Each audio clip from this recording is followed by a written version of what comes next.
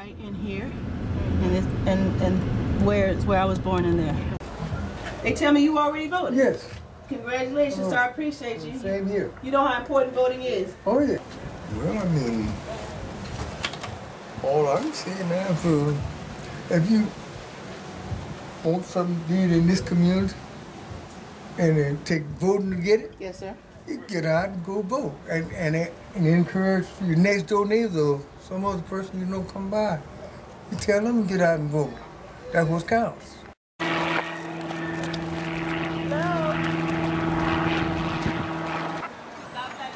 Thank you. Bye bye. Take care now. What, what I found so interesting as Michelle and I have walked through the communities is that this is, um, these people aren't rich in this community. They go to work every day. Some would call them the working poor. But I've just been so amazed when we knock on the doors from the elderly to the young people, but particularly to the elderly. When we ask them about going out to vote on Tuesday, before we even ask, they said, we've already voted. We know that this is important. And, and that's really, it's not what you hear in the news, but we are confirming that African Americans in this community, particularly those who are living at the margins and vulnerable in community, they care about the issues of the day and they know how important the franchise is and what our ancestors died for. And I'm just so pleased and so proud of Fort Pierce, my community, the community of my birth, about how we're hearing that they've already voted.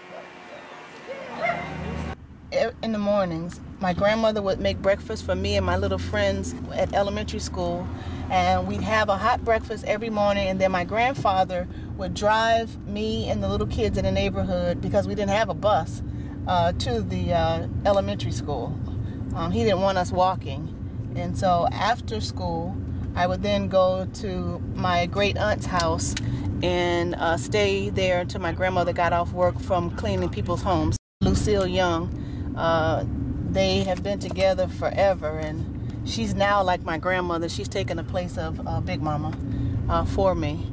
And so when I come back home now, I stay at her home. It's uh, the last house uh, further on the corner on um, 29th. And so she's my connection to the past now. Hey, Don, how you doing? Hi, Dion, how you doing? Doing fine. Mm, Good to see you. Good to see you. Hi. Hi. This is Barbara. I grew up with Barbara. How you doing? Uh, and Sister Yama, Big Mama's best friend. How you doing? How you doing? So you gotta tell everybody what's my name. Cherry. come on, come on. This is my family now in Fort oh, Pierce. this is my family right now. Already. Yes. We have been all around. We're gonna put this on for your door, asking everybody to make sure they get out and vote. And we've been so pleased that almost to a door, everyone has said they've already voted. Mm-hmm. So tell me about the importance of voting. Because people died so we can have the right to vote. We this is your way to voice your opinion on how you feel and you know how you you would like to see things, you know, done. Because my mother never voted. Okay. Yeah, and it, and, and, and it's real. It's, and I was oh, oh about 35 before I even did my first vote. Really? Okay. Okay. So when I was back in Georgia, we didn't know what it was to vote. Mm-hmm. Yeah, so it's an it's an honor for me. The playground was right here, but right here, number A, that's where I would come after school here at Aunt Susie's house, right here, and then play on the playground over here. This Big Mama's house here. This was grandma's house. This was Grandma's Right, house. okay.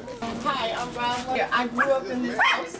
My big mama and Leona Pittman and James Pittman were the owners here until she died about 10 years ago. So I have not been here to the house since Big Mama and Granddaddy died. So when I went to NAACP, and we're going around the old neighborhoods, just knocking on doors. We got Reverend Richardson here and we're just knocking on doors and asking people to please get out to vote on Tuesday. It is so critical. We just want to make sure that everybody who can, who's registered, to get out and vote.